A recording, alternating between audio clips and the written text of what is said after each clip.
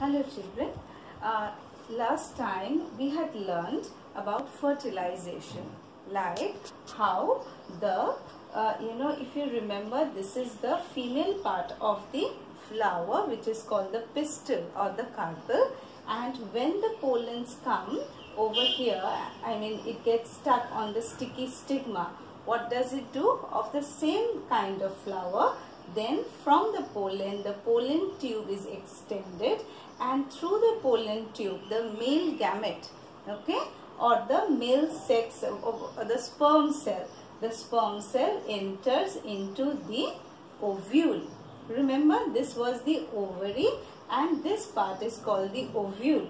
So the male gamete fuses with the female gamete that is the egg cell in the ovule and they together fuse to form an embryo. Uh, then it is called zygote okay? And the whole process is fertilization. So if i ask you what is fertilization it is a fusion of the male and the female gamete. The male gamete is in the pollen and the female gamete is in the ovary. Now that was about fertilization. Now what happens post fertilization now post fertilization we see that this sepals wither off the petals wither off this stamen also withers off. Okay they dry and they fall. What remains is only this part. Okay only this part of the flower. That is the ovary and the ovule.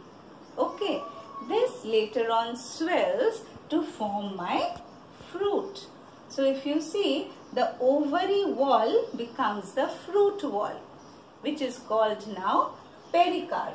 Okay. So the ovary wall, remember this is the ovary and this is the wall.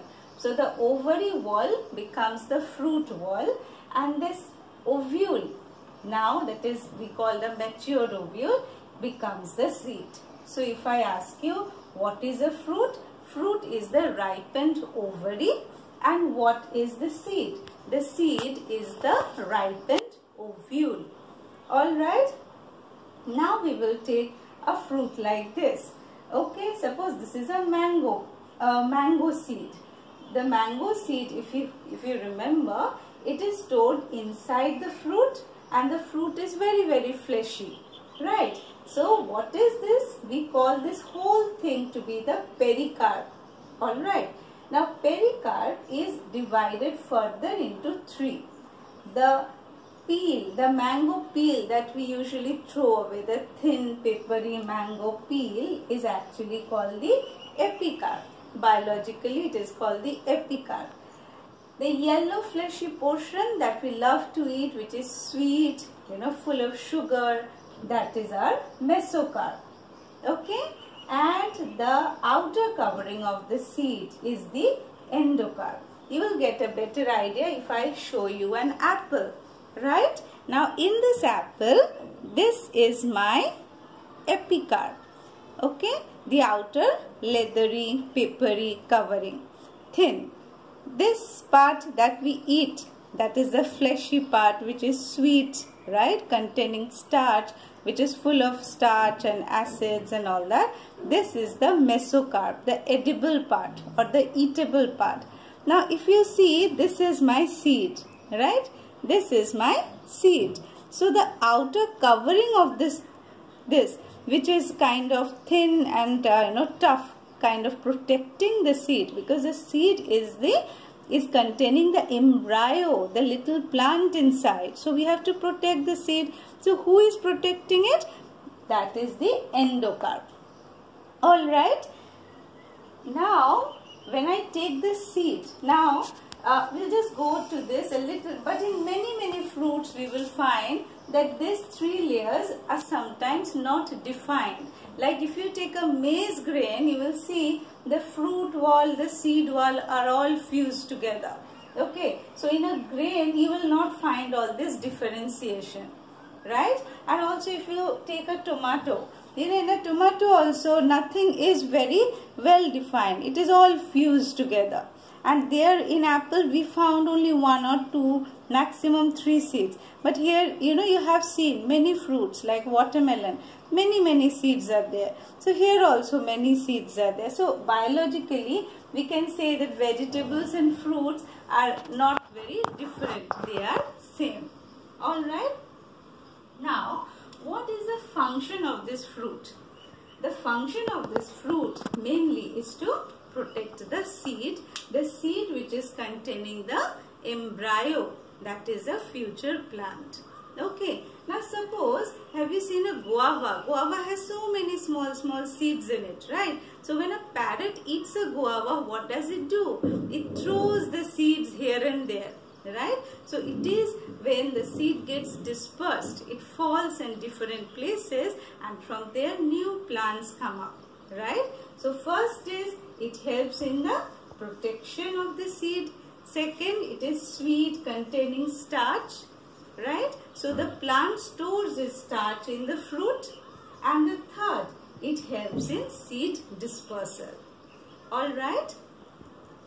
Now next we come to the seed. Now we will learn the seed in detail. So if you see a seed, the seed is much like this. Okay? The seed wall is called the seed coat. The seed wall is called the seed coat. Now here the seed is pretty big and in tomato we found that the seeds are very small and if you take coconut it is very very big right. So the seed size also varies from large to small to micro. Alright. Now why should I learn seed? Because it is the most important part of the plant if we can say because it helps in the growth of future plants. Right. The seed coat is protective in function. It protects the inner layer. Alright. The seed coat again has two parts. That is the testa and the tegumen. The testa is hard and tough and the tegumen is very thin. Alright. Now here there is a small hole. Okay. That is called the hilum. Now what is the function of the hilum? Now if I keep the seeds, you know, like suppose uh, some, uh, you know, uh, like this. If I take some, you know, chana like this. So will it grow? It will not grow. If I sow it in mud, if it gets proper sunlight, if it gets water, you know, moderate temperature, then only the seed will grow to a new plant. So this seed will need favorable condition to grow into a new plant. Alright?